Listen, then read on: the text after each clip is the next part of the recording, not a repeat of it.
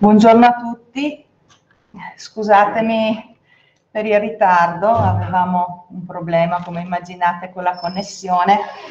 Eh, io sono la dottoressa Dalle Molle dello Spisa dell'US 9 e ho un primo intervento introduttivo eh, che riguarda eh, il coronavirus, che cosa intendiamo per Covid-19, i sintomi, le caratteristiche di questa eh, pandemia che ci sta interessando, gli strumenti diagnostici e quindi vi, vi presenterò un quadro generale sulla, sul coronavirus e eh, il Covid-19, iniziando appunto da, uh, dalle definizioni, da, da, inquadrare insomma il, il, virus che, uh, che causa questa, uh, questa, patologia. Allora, ehm, il coronavirus sono in generale una famiglia di virus che hanno la capacità di determinare nell'uomo la, uh, lo sviluppo di malattie che interessano principalmente l'apparato respiratorio, da forme molto lievi come raffreddore a forme molto più gravi, quindi la, la SARS che avrete sentito nominare più volte, che è proprio una sindrome acuta respiratoria di grado severo. Um, di coronavirus ne esistono molti tipi, eh, questi virus hanno la capacità di eh, causare malattie e infettare soprattutto gli animali, sono stati identificati, vedete, già a metà degli anni 60 e hanno anche però questi virus la capacità di fare il cosiddetto salto di specie, cioè di passare dalla capacità di determinare una malattia nell'animale alla capacità di determinare una malattia nell'uomo ed è quello che è successo, si ipotizza sia successo con molti eh, coronavirus che hanno fatto questo salto di specie. Al momento sono sette quelli che, hanno, eh, che abbiamo diciamo, individuato e uno appunto è il coronavirus eh, che sta determinando l'attuale pandemia. Abbiamo eh, quindi eh, il SARS-CoV-2, allora SARS-CoV-2 sta per eh, coronavirus che determina una sindrome respiratoria acuta severa, due perché come forse ricorderà qualcuno di voi nel 2002-2003 c'è stata una pandemia e in quel caso, sempre che aveva avuto inizio diciamo, l'infezione nella, in Cina e aveva determinato appunto questo quadro di sindrome respiratoria acuta severa e quel coronavirus che era sempre responsabile della malattia era stato appunto identificato come SARS-CoV-1, quindi CoV-2 perché appunto viene dopo eh, il virus che aveva determinato la pandemia del 2003. Quando invece parliamo di Covid-19 intendiamo la malattia causata dal coronavirus e sta appunto per coronavirus disease 19 dall'anno in cui diciamo è comparsa la malattia. La malattia sapete è stata diciamo i primi focolai di polmonite si sono verificati a Wuhan e poi in Cina insomma e poi all'inizio diciamo di, a gennaio del 2020 è stata identificata questa nuova malattia. Eh, per quanto riguarda il periodo di incubazione, allora innanzitutto cos'è il periodo di incubazione? È quel tempo che intercorre tra il momento in cui un soggetto viene a contatto con il virus e quindi sviluppa l'infezione, al momento in cui si sviluppano i sintomi. Questo periodo di incubazione, quindi in cui c'è già l'infezione ma il soggetto è ancora apparentemente non ha ancora disturbi, varia, nel caso del coronavirus, tra i 2 e gli 11 giorni, fino ad un massimo di 14 giorni. 14 giorni è un numero che poi si collega al periodo della quarantena, cioè la quarantena nel caso, sapete, l'isolamento nel caso eh, del coronavirus è di 14 giorni proprio perché noi ci aspettiamo che un soggetto che potenzialmente è infetto va in isolamento e se sta in isolamento 14 giorni, in quei 14 giorni dovrò diciamo, dovranno comparire i sintomi. Se non compaiono, diciamo, molto probabilmente il soggetto non ha, potrebbe non aver sviluppato la malattia. Per quanto riguarda i sintomi, dicevamo che ehm, tipicamente sono sintomi diciamo, che interessano l'apparato respiratorio, quindi possono comparire tosse, eh, raffreddore, starnuti, eh, ci può essere la comparsa di difficoltà respiratoria, ovviamente la febbre con tutti i sintomi diciamo più generali che si accompagnano alla febbre, quindi la stanchezza, la sudorazione, i brividi, il mal di testa. Mm, abbastanza diciamo, caratteristici di questa eh, malattia sono anche eh, la perdita, la diminuzione dell'olfatto e del gusto, e, ehm, diciamo il quadro, vi dicevo, può andare da forme molto lievi, ma eh, come sapete ci può essere anche un interessamento importante, quindi una forma di interessamento importante dell'apparato respiratorio che può portare al ricovero, a un ricovero in terapia intensiva, quindi con un supporto diciamo alla respirazione del soggetto fino appunto a, alle forme più gravi in cui ci può essere il decesso. Eh, bisogna anche ricordare però che una quota di soggetti, e questo lo stiamo vedendo di più ora che nella fase iniziale dell'epidemia,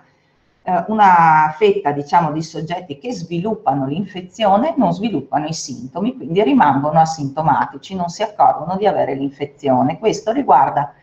più frequentemente soggetti di giovane età e appunto anche i bambini. Eh, i soggetti di età più avanzata mh, mm, tendono a presentare, diciamo ad essere a maggior rischio di sviluppare una infezione con sintomi importanti, eh, sì per l'età, ma soprattutto perché con l'avanzare dell'età il soggetto in genere sviluppa una serie di malattie croniche, quindi può essere magari che abbia una cardiopatia, abbia un diabete, e l'insieme di queste patologie con l'età avanzata ovviamente rende questi soggetti più fragili e quindi più a rischio di avere un'evoluzione diciamo negativa della, dei sintomi. Per quanto riguarda le modalità di trasmissione, come si trasmette la malattia? Allora possiamo avere un contatto mm, per via diretta, quindi da soggetto a soggetto direttamente. Eh, qui vedete un soggetto sintomatico, il soggetto sintomatico è quello che eh, mh, più facilmente trasmette la malattia perché tossisce, perché starnutisce ed è proprio attraverso l'eliminazione di queste micro goccioline di, di, di saliva o di, di, che provengono dalla mucosa dell'apparato respiratorio in cui è contenuto il virus che eh, diciamo avviene l'infezione perché queste goccioline si disperdono nell'aria e ovviamente se io ho un soggetto molto vicino a un soggetto infetto, questo soggetto potrà respirare, quindi entrare a contatto con le proprie mucose respiratorie direttamente con le goccioline e infettarsi. Oppure il contatto può essere attraverso, per esempio, la stretta di mano, quindi sappiamo che un soggetto che tossisce o starnutisce può avere le mani contaminate, e quindi stringendo la mano un altro soggetto che poi si, si, avrà una contaminazione della mano, se questo soggetto porterà le mani al volto, ci sarà il rischio anche in questo modo di trasmettere la malattia. Um, c'è anche una modalità, diciamo, di contagio indiretto, e cioè queste goccioline si possono depositare sulle superfici e se un soggetto sano va a toccare le superfici dove è ancora presente diciamo, eh, il virus e poi appunto sempre si eh, porta vicino le mani al viso, può contagiarsi. Eh, vedendo quali sono le modalità di trasmissione si capisce anche perché abbiamo adottato in questi mesi alcune misure di prevenzione, quindi il distanziamento sociale ovviamente per evitare che ci sia diciamo, uh, l'esposizione a queste goccioline che possono essere emanate dal soggetto infetto. Abbiamo vietato la stretta di mano, sappiamo che dobbiamo evitare il, contatto, il contatto diretto e sappiamo che dobbiamo lavarci spesso le mani. Ovviamente per quanto riguarda le superfici, anche la disinfezione diciamo, delle, delle superfici è una modalità che consente, diciamo, ovviamente di ridurre la possibilità del contagio, tenere eh, spesso pulite, diciamo, tutte le superfici, quindi avere un'adeguata pulizia dell'ambiente che, che, ci circonda, dove operiamo. Mm. Qui vi ho riportato la definizione di contatto stretto perché il contatto stretto di un soggetto diciamo, che eh, si rivela positivo al Covid-19, quindi che ha fatto un tampone nasofaringeo che è risultato positivo, è un soggetto che eh, viene messo diciamo, in isolamento, in, in, in isolamento fiduciario. Come viene identificato il contatto stretto? Quindi quando c'è un caso positivo, come si vanno a ricostruire questi contatti stretti? Allora, nei due giorni precedenti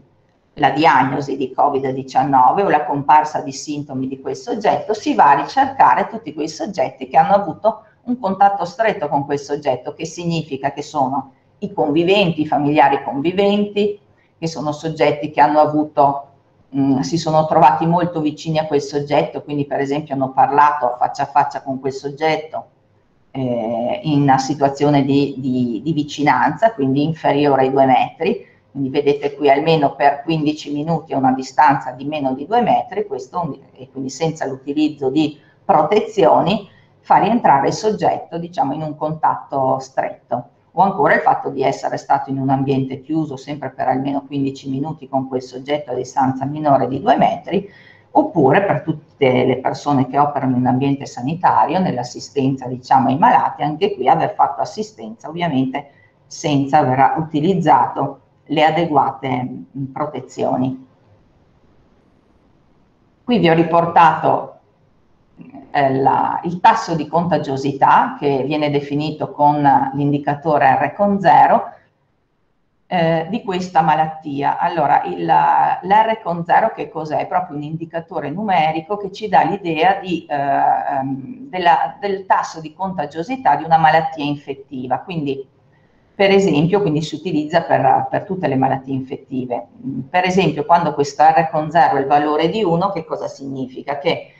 il soggetto malato ha la capacità di infettare un altro soggetto sano. Se R con 0 è pari a 2, significa che il malato è in grado di infettare o infetterà due soggetti sani. Quindi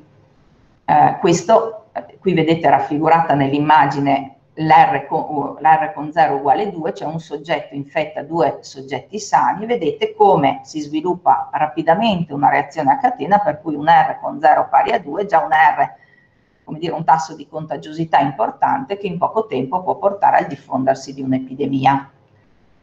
Eh, quando un'epidemia eh, è sotto controllo, cioè che valore deve avere questo R con 0 per stare tranquilli e, come dire, aspettarsi che l'epidemia vada pian pianino risolvendosi? Quando l'R con 0 ha un valore inferiore a 1, cioè che un soggetto non è in grado di contagiare un altro soggetto. Com'è cambiato questo R con 0 nel tempo? Perché questo R con 0 cambia, nel senso che ogni eh, microorganismo, quindi il coronavirus, parte da un R con 0, diciamo che dipende dalle caratteristiche proprio del virus stesso, però io posso modulare il tasso di contagiosità di una malattia andando ad agire con delle misure di prevenzione, perché l'R con 0 dipende anche dalle misure che io vado ad attuare. Vi faccio un esempio per spiegarmi meglio. Alla, a, vedete a febbraio, all'inizio diciamo, dell'epidemia, l'R con 0 del coronavirus, SARS-CoV-2, era pari a 3, quindi un valore importante. Ehm, con la fase del lockdown, quindi misure estremamente diciamo, restrittive, abbiamo ottenuto un'importante riduzione di questo R con 0, quindi vedete che proprio intorno alla fine di marzo abbiamo visto proprio i primi risultati del, del lockdown e siamo scesi, diciamo questo è il valore dell'andamento in Veneto a 0,5 di R con 0, ma alcune regioni italiane hanno avuto anche valori eh, più bassi, sapete che noi siamo comunque una regione che è stata interessata in modo importante da questa epidemia. A partire da, uh, da metà luglio, eh, come sapete, i casi si sono ripresentati via via, insomma quindi sono di nuovo aumentati al momento, quindi siamo in una situazione, diciamo, è saltato tutto. Ok. E siamo in una situazione in cui ancora diciamo siamo in una diciamo preoccupante insomma in cui eh, abbiamo diciamo un numero di contagi che ehm, via via è salito e sta salendo, come avrete sicuramente saputo da, da, dai giornali, dall'informazione. Eh, l'attuale situazione in Italia, questi sono i dati che ho estratto, diciamo una schermata che ho estratto dal sito del Ministero della Salute, c'è anche il sito dell'azienda uh, ULS 0 che può essere consultata e che elabora continuamente diciamo, i dati dell'epidemia. Eh, questo riguarda i dati in Italia, quindi al 10 settembre 2020 abbiamo eh, 283.000 casi positivi, positivi significa positivi al tampone nasofaringeo, eh, di questi attualmente positivi 35.000, siamo intorno al 12%, deceduti anche intorno al 35.000 e attualmente diciamo dimessi guariti 211.000. Le regioni, la regione più colpita quindi per numero di casi positivi è la Lombardia, li vedete riportato qui sulla destra, seguita da Piemonte, Emilia Romagna, scusate, e, e poi arriva appunto il Veneto. L'andamento della malattia è cambiato nel tempo, all'inizio diciamo, la percentuale di eh, deceduti rispetto al totale dei positivi era più alta, questa percentuale si sta abbassando, quindi stiamo osservando eh, in questo momento diciamo, uh, un andamento diciamo, in cui uh, come dire, la percentuale um, di ricoveri e di decessi rispetto al totale dei positivi si è, um, si è ridotta. Eh, in realtà nella fase iniziale avevamo anche molti, cioè, molti ricoveri perché avevamo molti soggetti, diciamo, anziani che venivano colpiti da questa malattia e i tamponi venivano fatti principalmente a soggetti sintomatici. Adesso che siamo usciti dalla fase, diciamo, iniziale di epidemia, stiamo facendo, insomma, si stanno facendo molti tamponi anche ai soggetti che non hanno eh, eh, sintomi, quindi effettivamente la fetta, diciamo, di questa popolazione di positivi asintomatica, diciamo, che non ha sintomi importanti, è andata, diciamo, aumentando, anche perché sono cambiate le modalità con cui vengono somministrati i tamponi. Allora, per quanto riguarda la diagnosi, abbiamo già accennato, esistono strumenti, vari tipi di strumenti diagnostici, eh, il tampone nasofaringeo è eh, diciamo un test che consente di identificare la presenza del virus nella mucosa respiratoria di un soggetto. E, ehm, e il virus viene identificato proprio dando, andando a identificare il codice genetico, l'RNA del virus. Attual, diciamo, recentemente è stato introdotto anche il tampone cosiddetto rapido, che dà una risposta in 10 minuti circa, questo tampone ha una modalità di esecuzione simile a quella del, uguale insomma a quella del tampone nasofaringeo, però va ad identificare delle proteine di superficie del virus, quindi non proprio diciamo il suo genoma. E sta dimostrando diciamo certa uh, diciamo uno strumento, un nuovo strumento diagnostico utile ehm, per evidenziare i soggetti appunto positivi all'infezione. Poi abbiamo i test sierologici, i docenti sono stati proprio eh, invitati, quindi molti di voi avranno fatto un test sierologico. Il test sierologico è un test diverso che va a testare invece la presenza degli anticorpi contro il virus. Eh, come si comporta il virus e come si comportano gli anticorpi nel, nel tempo quando c'è l'infezione da, da Covid-19. Qui vedete la linea blu è l'andamento diciamo del virus che vedete ci infetta al tempo zero, poi replica, quindi aumenta e poi nel, nel, corso della malattia, quindi anche nella fase di convalescenza, quindi insomma raggiunge il picco quando ci sono i sintomi, poi via via ehm, scompare. Gli anticorpi non sono presenti fin dal primo giorno dell'infezione come il virus, ma vedete abbiamo oh, un primo tipo di anticorpi, le IgM, che compaiono a una settimana circa dall'infezione e entro 20 giorni anche scompaiono. Poi abbiamo l'IgM, che è un secondo tipo di anticorpo che compare più o meno a distanza di eh, 15 giorni dall'infezione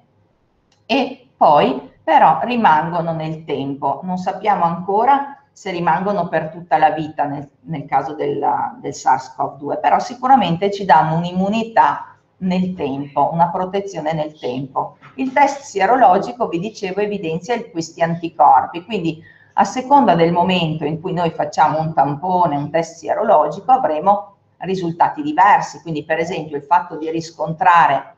solo delle IgG positive può voler dire che il soggetto ha già superato la malattia, quindi è il ricordo di una vecchia infezione, oppure potrebbero essere le IgE, IgG positive, ma ancora siamo in una fase in cui, vedete, eh, eh, il virus è presente nell'organismo perché la malattia è magari eh, nella sua fase ehm, terminale ma non, il soggetto non è ancora guarito. E lo stesso gli anticorpi, vi dicevo, potremmo trovarli negativi proprio in una fase iniziale perché abbiamo alcuni giorni dopo l'infezione in cui comunque eh, IgM e IgG sono ancora negative.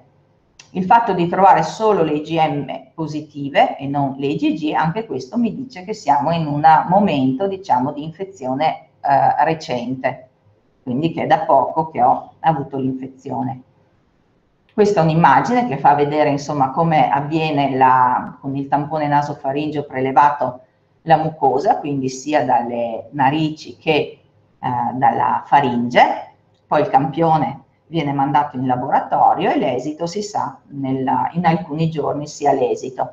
A cosa serve il tampone eh, nasofaringeo? Allora, al momento è lo strumento, diciamo, eh, che viene utilizzato, diciamo, per la diagnosi certa di infezione eh, da SARS-CoV-2 e quindi è anche lo strumento che viene utilizzato per la diagnosi di guarigione, perché per dire che un soggetto è guarito, questo soggetto non dovrà ovviamente avere più sintomi, anche avere almeno due tamponi negativi a distanza di almeno, effettuati a distanza di almeno 24 ore. Se ovviamente un tampone si evidenzia positivo in un soggetto, questo fa scattare una serie di misure, quindi si eh, andranno a recuperare i cosiddetti contatti stretti di cui vi dicevo prima e poi il soggetto verrà attivata una sorveglianza del soggetto per cui verrà contattato dall'igiene pubblica, dal servizio dell'igiene pubblica per vedere come evolve la malattia e anche per eventualmente contattare i contatti, avere un, recuperare i contatti stretti per poi chiamarli a fare il tampone.